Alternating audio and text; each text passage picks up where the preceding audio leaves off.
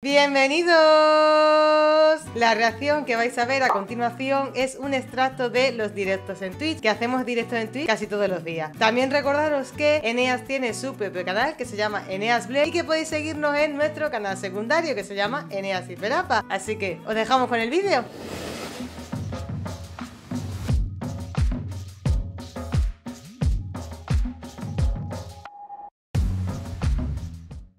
Vamos a ver el primero, ¿vale, chicos? Sí, vamos a ir viendo a el primero, porque si no, luego, claro, entonces no nos da tiempo. Vale. Vale, vamos a ver el primero, el de Esta es Colombia. Vale, pues vamos a ver entonces Esta es Colombia, a ver qué tal este vídeo. Con la cantidad de vídeos que tienen, hacen maratón sin dormir cuatro años. Pues más o menos, más o menos. Por ahí van las fechas. Colombia, un país joven, diverso y pujante, con ciudades vibrantes. Al tercer país más poblado. La localización del país determina su gran variedad de ecosistemas. Colombia está conformada por siete pisos térmicos que pasan desde una vasta región andina con alturas que alcanzan los 6.000 metros, pasando por la zona cafetera, donde ¿Qué se pasa? produce el café más suave del mundo, hasta densas selvas en la Amazonía y la Orinoquía, extensas costas sobre el Mar Caribe y el Qué Océano. Pacífico y amplias llanuras en el oriente del país.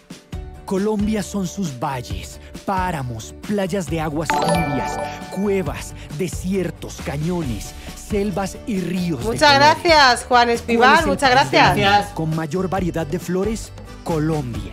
Y de orquídeas, y de palmas, y de pájaros exóticos, y de ranas, Colombia. ¿Cuál es el país con mayor diversidad de frutas por metro cuadrado, donde puedes probar una fruta cada día durante todo el año? Sí, ¿Qué pasa? Colombia, que alberga el 10% de la flora y fauna de todo el planeta.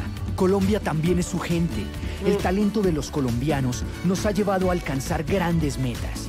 Un premio Nobel de Literatura, uno de los artistas contemporáneos más relevantes del mundo cultural, empresarios, investigadores, artistas, deportistas, demuestran al mundo que en la tierra del realismo mágico somos capaces de hacer realidad lo que otros pensaban que era imposible. El mestizaje de este país, lleno de herencias indígena, española, africana, hace ricas nuestras tradiciones, con una amalgama de sabores, ritmos, colores y destinos que hacen únicas las experiencias mágicas que viven millones de turistas de todo el mundo. En el país del realismo mágico, la alegría corre por la piel, con ritmos como el vallenato, la cumbia, el porro, la champeta, el bambuco, la guabina, la salsa o el joropo, que llenan de baile las celebraciones tradicionales que animan a Colombia durante todo el año, con una economía que crece por encima del promedio de la región, con 48 millones de habitantes decididos a llevar cada vez más adelante el ¿eh? país. Colombia ha atraído a inversionistas de todo el mundo por la facilidad que ofrece para hacer negocios.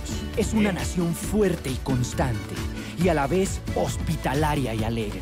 Colombia conquista el mundo con sus productos y servicios. Si pudiéramos ver el mundo a través de los productos colombianos, en las mañanas Asia desayuna con el café más suave del mundo, en las tardes Europa disfruta nuestras frutas y en América adornan importantes ceremonias con la mayor variedad de flores. Acompañamos al mundo a tomar el sol, a disfrutar del frío, a viajar, a celebrar. Aquí se sonríe como si la alegría también se exportara. Mm. Aquí se saluda como si ser amable fuera una ley y se disfruta como si hacerlo fuera un deber. Aquí hay personas pujantes y solidarias que creen en la reconciliación y la integración como actos de esperanza y de progreso.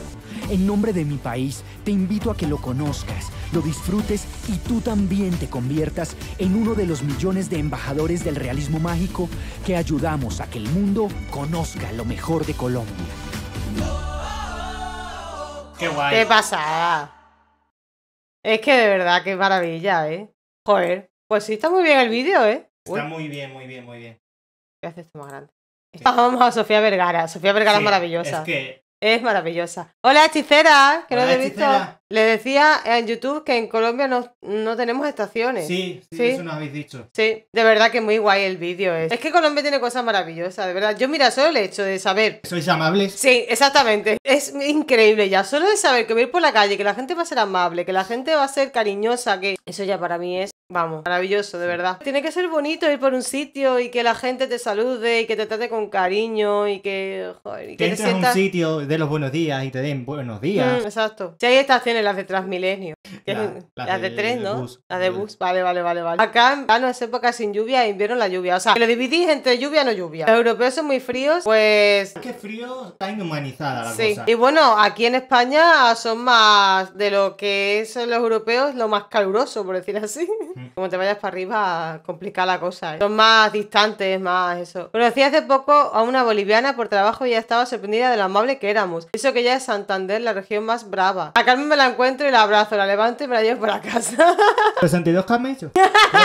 son más fríos los asiáticos. Pues sí, sí, los asiáticos sí. los- por, vamos, no, no conozco muchos, pero porque tengo entendido son más distantes. A lo mejor es que cuanto más para allá te vas, más distante es la cosa. Porque el sol está más lejos. Puede ser, no sé. Sentí un poco la diferencia entre una vez al corte inglés que queda en la Gran Vía en Madrid y no esperaba la atención tan diferente. Que... Y más en un sitio así. Y sí, y si mira, si todavía en el sur, vas al sur, al sur suelen ser más cariñositos. Es verdad. Sí, sí, sí, sí. Suelen ser más cariñosos. Y en Madrid que son muy chulos, muy Sí. secos, está la chulería madrileña. Chulería Pueden impactar. A mí es un carácter que me gusta porque los veo muy, muy arrechos, muy tirados Mm. para adelante, digamos. Pero como no lo sepas, Se- eh, seguido por de YouTube, pero soy nuevo aquí en Twitch. ¡Qué guay! Qué guay, Muchas Daniel. gracias por haberte venido aquí a vernos en Twitch. Es que hay unos fenómenos climáticos que definen las estaciones en Colombia. Se llama el fenómeno del niño y el fenómeno de la niña. Sí, los conozco. Los... Vamos, tú también los conoces. Conocemos. 60 y le encima un ponqué de no, no, no. chocorramo. 62 camellos. 32 camellos ya la cima quiere el chocorramo. Sí, ya me, ya me metido entre ojos. Los españoles son amables a sus formas. Cinco meses en España y no logro conectar con ellos. O sea, Eh, eso en el pueblo que llevo viviendo 20 años, Sebastián.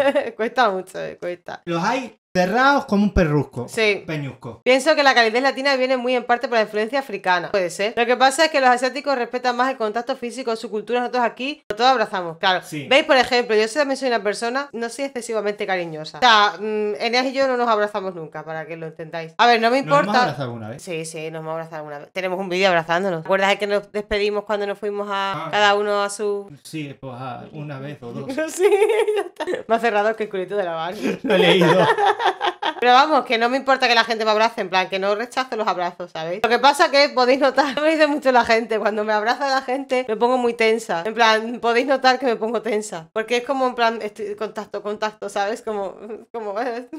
Sabía que hace muy poco los huracanes tocaron la isla de Colombia en el Caribe, el país no tenía experiencia en eso. ¿Huracanes? No. Pero las islas, las que estaban ya afectadas cuando hicimos la relación a las islas, o ha sido después? Acá abrazamos hasta, lo que no nos, hasta los que no nos conocemos, sobre todo en Transmilenio. Te pones tensa, ¿cómo te sentirás en Cali? Ellas te abrazan y te ponen a bailar. No, no pasa nada, en plan, a ver, me pongo tensa en primer momento porque es en plan de contacto físico, pero luego no pasa nada, en plan, me relajo. Lo que pasa que al primer es como un choque, en plan de, eh, me estás abrazando, La ¿sabes? falta de costumbre. Exactamente, es la falta de costumbre, que me pongo tensa por eso. No estoy acostumbrada a abrazar, ¿sabes? Como que para mí es raro el abrazar a alguien, ¿eh? ¿sabes? Es, es extraño para mí. Pero vamos, que yo me acostumbro, ¿eh? ¿Saben? Es curioso siendo el origen cultural compartido que hay diferencias en la manera de abordar a las personas. Claro, sí, eso. Mm. La separación. En el Transmilenio todos tocan y nadie es músico. Qué fantasía. Eso pensaba Carmen se sentirá incómoda. Aquí se abraza por todo. Nah, pero eso es, ya te digo. A partir de mañana, persona que vea por la calle, le- abrázala. Abrázala. No puedo creer que ustedes dos se hayan abrazado tampoco. Sí, sí, pero que con mi mejor, con mi mejor amigo también. O sea, yo no me abrazo con la gente normal, Y ¿sabéis? yo tampoco, entonces se junta el hambre y las ganas de Claro, comer. tuvo huracán en Providencia y destruyó el 90% de la isla. Hostia, Madre mía. A mí los huracanes es una cosa que siempre me han dado mucho, Miedo sí, mucho pánico. Nunca he visto ninguno. Es algo como que siempre el huracán. Entre eso y Yo- los tornados es como, wow, un super tornado aquí. Uf, como, uh. Espera, espera, estoy confundiendo huracán con tornado. El tornado es el remolino, Sí. ¿vale? El, Y y el el huracán, huracán es vientos muy Viento. grandes. Ah, vale. thank you